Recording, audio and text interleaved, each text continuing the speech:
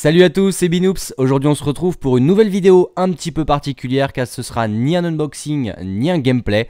Euh, je fais cette vidéo car la semaine dernière sur Facebook, je vous ai annoncé que j'allais préparer un petit custom. Euh, depuis quelques mois maintenant, j'étais à la recherche de plusieurs pièces que je trouvais pas forcément en magasin euh, ou sur internet.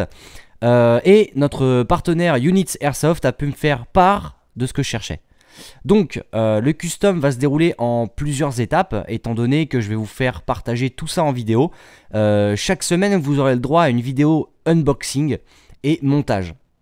De façon à vous faire partager le plus clairement possible euh, les étapes du custom. Donc voici en image un petit peu ce que je vais installer sur, ce custom. donc il y aura un NimePeg 15. Voilà, c'est purement accessoire. Hein. Je vous le dis euh, tout de suite, il n'y aura pas de, batterie à l'intérieur ou autre. Ça sera purement, euh, joli, on va dire, euh, pour le style. Voilà. un petit short grip pour le maintien. J'ai bien aimé ce genre de, grip. au niveau du maintien de la réplique, je sais pas, j'aime plus maintenant les petites poignées, les petites poignées grip, les shorts ou autres.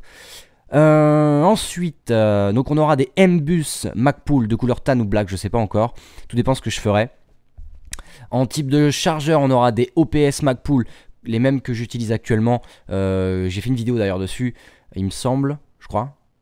Bref, je vous mets l'image. Ensuite, on aura un silencieux VFC type PDW.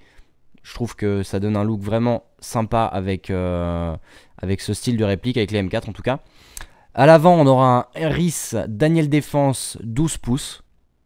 12 pouces pourquoi? Parce qu'en fait, la réplique que j'ai déjà, euh, elle fait 30 cm, un peu plus de 30 cm de long, je crois, elle fait 35. Enfin, niveau canon, je parle. Hein. Euh, canon externe, elle fait 35 cm. Et donc, le 30 va me permettre d'avoir un, petit jeu en plus, on va dire, pour le, pour le silencieux, en fait.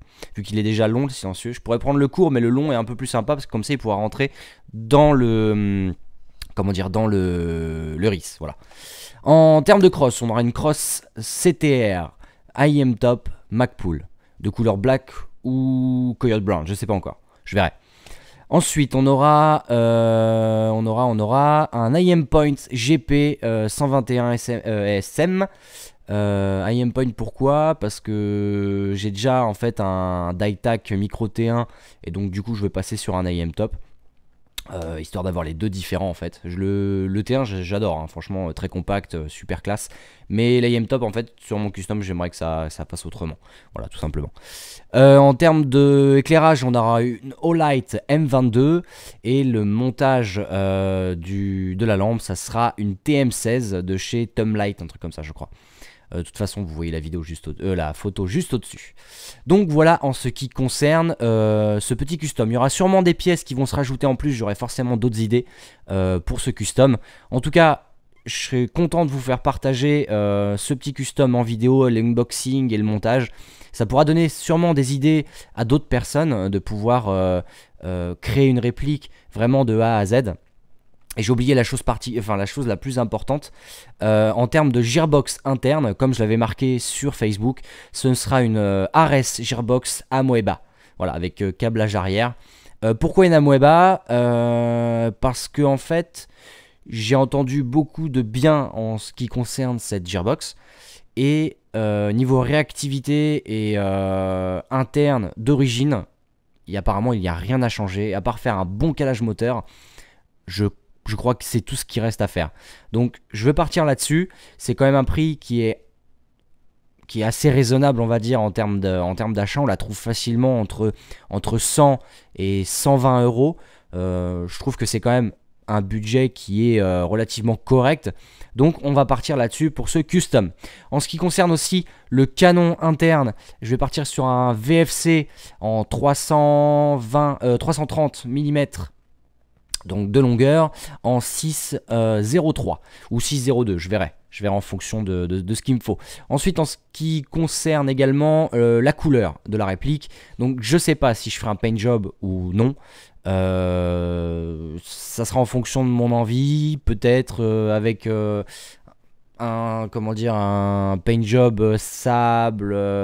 je sais pas, je sais pas, je vais voir. Je vais voir en fait en fonction de ce que va donner la réplique une fois terminée en fait.